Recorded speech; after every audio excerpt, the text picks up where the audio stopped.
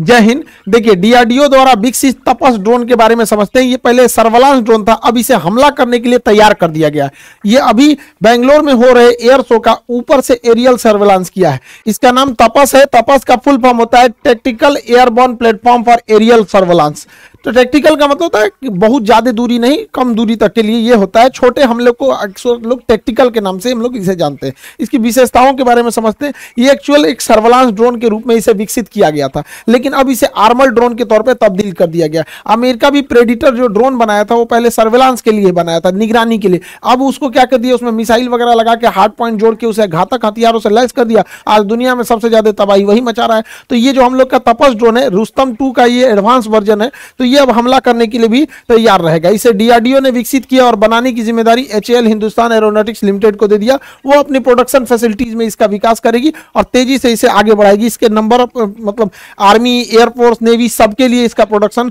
को आगे बढ़ाया गया। लगभग 76 74 के आसपास में इसका नंबर को अभी मांगा गया है। हालाँकि और इसके नंबर्स को बढ़ाया जाएगा। शुरुआती परीक्षण इसका कर्नाटक में हुआ था। कर्नाटक के शुरुआत में इसका कोलार में परीक्षण हुआ। दूसरा परीक्षण जो पूरा बढ़िया से ट्रायल किया गया चित्रदुर्ग में। ये अक्सर क्वेश्चन पूछेगा, चित्रदुर्ग कहाँ है? कर्नाटक में। हालाँकि पहले भी मिसाइलों के परीक्षण के लिए हमारे पास उड़ीसा का व्हीलर द्वीप, जिसका नाम चांदी ये कलाम द्वीप हो गया, उसके ऊपर है चांदी चांदीपुर और यहाँ पोखरन ये चार जगह याद रखिएगा, मिसाइलों के परीक्षण के लिए यह जगह है। इसके बारे में अब समझते हैं।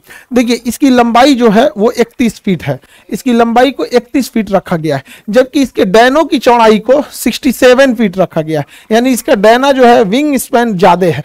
जितना ज़्यादा विंग स्पैन रहेगा, वो हवा में उतना ज़्यादा स्टेबल रहेगा। वो कोई भी चीज़ स्टेबल, स्टेबिलिटी उसकी बढ़ जाती है। इसमें टर्बोप्रॉप टाइप के इंजन लगे गए हैं, जिसके फ़ैन बाहर होते हैं। टर्बोप्रॉप इंजन के फ़ैन क्या होगा बाहर रहेंगे। इसमें तीन ब्लेड दिए गए हैं घूमने के लिए। जबकि तुर्की का जो टीबी टू ड्रोन था, उसमें दो ही विंग्स थे। दो ही फ़ैन है घूमने के लिए। इसमें तीन फ़ैन है।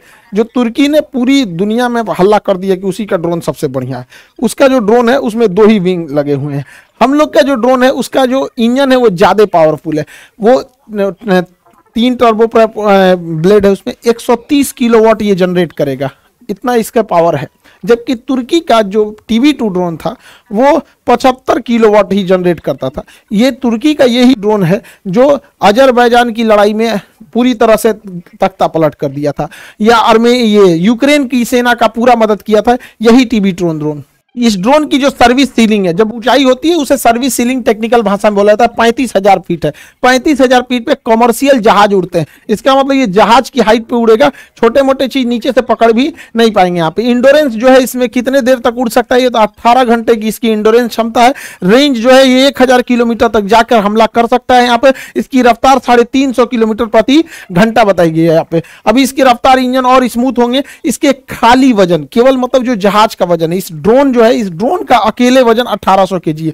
लेकिन यह ले जा सकता है साढ़े तीन सौ के पेलोड यहीं से इसकी एडवांसमेंट चालू होती है कि साढ़े तीन सौ के हथियार को ये ले जा सकता है। जबकि तुर्की का जो टीवी टू ड्रोन था, वो महज डेढ़ सौ के के ही वज़न को ले जा सकता था। डेढ़ सौ के में वो दो से तीन मिसाइलें ही ले जा सकता था, जिस वजह से उसे बार बार वापस आना पड़ता था।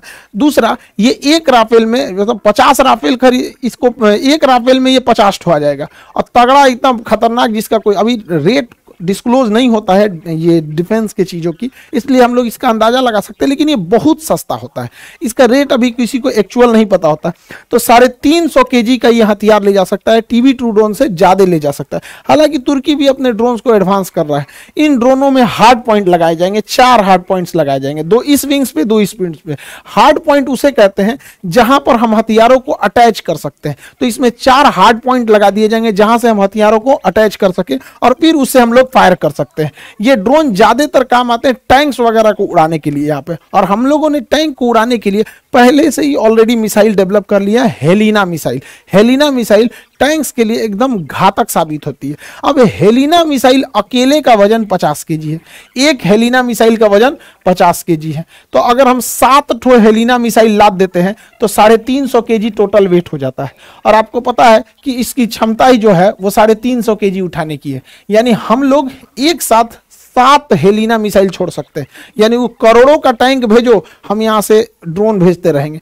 युद्ध नीतियाँ बदल चुकी हैं। यूक्रेन की लड़ाई और अर्मेनिया और अजरबैजान की लड़ाई ने यह साबित कर दिया कि अब जिनके पास ड्रोन टेक्नोलॉजी बेहतरीन है, वही आगे निकलेगा। अब देखिए, ईरान जैसा छोटा देश जो डिफेंस के मामले में आत्मनिर्भर नहीं था, वह छोटा देश ईरान भी रूस को ड्रोन दे रहा है कि हमारे ड्रोन से आप यूक्रेन में मारिए। तुर्की जो हथियार के निर्यात में उतना नहीं प्रसिद्ध था, लेकिन उसने भी यूक्रेन को दिया मारने के लिए और ये ड्रोन तख्ता पलट कर दिए, पूरी तरह से माहौल बदल दिए। ये ड्रोन बहुत सस्ते होते हैं। मेन लड़ाई इसी चीज़ की बहुत सस्ते होते हैं यहाँ पर। ड्रोन में कोई पायलट नहीं बैठता, इसलिए ह्यूमन कैजुअलिटी का कोई बात नहीं होता है। तो ये आर्मल ड्रोन अब हो जाएगा, ये टीवी ड्रोन और सात मिसाइलों को ले जा सकता है और टैंक का हाल ये हो जाता है, देख सकते हैं यहाँ पर। इसमें अलग तरह का नेविगेशन सिस्टम जोड़ा गया है। दुनिया के जितने ड्रोन हैं, जो मतलब ज़्यादातर ड्रोन जैसे टीबी टू ड्रोन हो गया, और ईरान का ड्रोन हो गया, ये जीपीएस का प्रयोग करते हैं। और जीपीएस की कंट्रोलिंग अमेरिका के पास है। तो हम अपना आँख अमेरिका को नहीं दे सकते हैं। तो भारत ऐसा है कि, क्योंकि हमारे पास इसरो ने गगन सेटेलाइट सिस्टम छोड़ दिया तो ये उस ड्रोन को रास्ता दिखाने का काम गगन करेगा। और गगन ऑलरेडी ट्रस्टेड है, हमारी नेवी यूज़ करती है एयरफोर्स पहले से यूज़ कर रही है, जहाज़ हमारे इंडिया में जितने उड़ते हैं, वो गगन को यूज़ करते हैं। जितने भी ट्रेन वगैरह का एग्जैक्ट लोकेशन के लिए भी हम लोग गगन का ही प्रयोग करते हैं। तो ये गगन सेटेलाइट हम लोग का है तो हमारे इसके ऊपर कंट्रोल है। इससे, इसका प्रयोग करना ज़्यादा सही है। और ये पूरी तरह से भारत की निगरानी देता है। तो अब हम लोग कहीं पे भी हमला करने के लिए जीपीएस पे डिपेंडेंट नहीं है। ये पूरी तरह से गगन ड्रोन सिस्टम से ऊपर का इसका एंटीना सिग्नल ले लेगा और कहाँ क्या चीज़ हो रहा है सब कुछ बता कर लेगा। इवन कि ये आपस में लिंक भी होते हैं। अगर कोई कॉमर्शियल जहाज़ जा रहा है, इसको कुछ दिखाई दिया तो ये गगन को बता देगा, वो बता देगा ड्रोन को यहाँ पे। तो इन इन आपस में इंटरचेंज होने से रियल टाइम डाटा इजी पता चल जाएगा कहाँ हमला करना है कहाँ नहीं। अब जीपीएस में कोई डाटा मिल रहा है वो देर से मिलेगा। जैसे अगर किसी को बता दिया कि लखनऊ के ऊपर से एक जहाज़ जा रहा है आधा घंटा बाद हम ये सूचना देंगे कि लखनऊ से जहाज़ जा रहा है तो, तो जहाज़ पता नहीं कहाँ जा चुका रहेगा आधा घंटा में। तो हमें जो भी जानकारी चाहिए रियल टाइम पे। अभी वो जहाज़ पिन पॉइंट कहाँ है? तो रियल टाइम डेटा के लिए हमारा गगन सिस्टम बहुत ज़रूरी है और ये आपस में इंटीग्रेटेड है। सारी सिस्टम आपस में एक दूसरे से इंटीग्रेट है जिससे हमें हमें रियल टाइम डाटा लेने में ईजी होगा इसमें नेविगेशन सिस्टम में दुनिया का सबसे एडवांस नेविगेशन सिस्टम डाला गया है यहाँ पे। इसके कैमरे में बिल्कुल एच क्वालिटी को। लेकिन एच क्वालिटी ये देखने के काम में आता है। युद्ध में कितना अच्छा देखते हैं ये मतलब नहीं। जब दुश्मन को देख लेंगे तो आप भी दुश्मन को मार देंगे, और दुश्मन भी आपको मार देगा। या सारी लड़ाई आज बियॉन्ड विजुअल रेंड है। हमारे नज़रों से दूर की लड़ाई हो गई है, छुप के लड़ाई हो गई है, अंधेरे में हो गई है। तो अब वो एच डी काम नहीं आने वाला लड़ाई में, अब टेक्नोलॉजी काम आएगी। तो उसमें क्या काम आएगा? देखिए नाइट विजन यहाँ नीचे सर्वलांस के लिए लगाया गया है। इसमें नाइट विजन भी दिया गया है और साथ में इसमें थर्मल कैमरा भी दिया गया है। देखिए नाइट विजन होता है कि हमें अंधेरे में देखने की सहूलियत दे देता है। नाइट विजन जबकि थर्मल कैमरा ऐसा नहीं होता है। थर्मल कैमरा हम, गर्मी को भांपता है। कहाँ का टेम्परेचर ज़्यादा है, उसको गर्म करके दिखाता है। जैसे ये हिरन है, इनका टेम्परेचर ज़्यादा था तो इनको इस कलर से दिखा दिया। बाकी के पेड़ पौधों का टेम्परेचर कम था तो उसको अलग कलर से दिखाया। तो ये होता है थर्मल कैमरा और ये होता है नाइट विजन आम, अमूमन ऐसा लगता है कि जब नाइट विजन कैमरा है है तो थर्मल की ज़रूरत क्या है? देखिए नाइट विजन से अच्छा थर्मल होता है। रीजन क्या है? अगर इन हिरन को ऊपर एगो तिरपाल ओढ़ा देते हैं या चादर से ढक देते हैं, या हिरन के जगह अगर फौजी रहते हैं, ढक लेते हैं अपने आप को तो नाइट विजन उसे नहीं देख पाएगा कि इसके अंदर आदमी है। और यही काम आ जाता है थर्मल कैमरा। अगर आप इनके ऊपर चादर से ढक भी देते हैं तो इनके बदन की गर्मी थोड़ी ना खत्म हो जाएगी तो ये गर्मी को पहचानता है।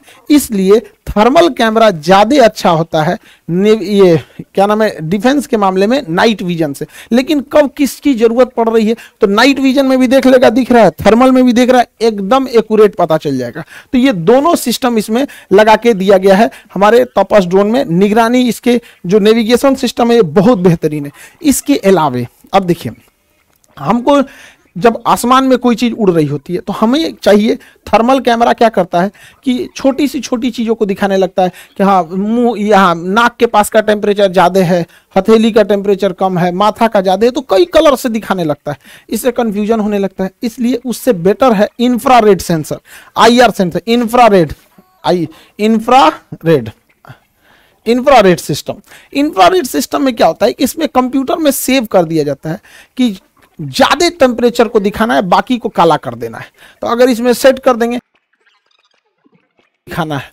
तो देखिए, कोई भी जहाज़ चलेगा तो उसका डिग्री सेल्सियस होता है। या इसमें सेट कर दीजिए इसके सिस्टम में कि 200 डिग्री सेल्सियस से टेम्परेचर ज़्यादा रहेगा तो ही स्क्रीन पे दिखाना अदरवाइज़ में मत दिखाना। तो इसका पूरा स्क्रीन काला दिखता है।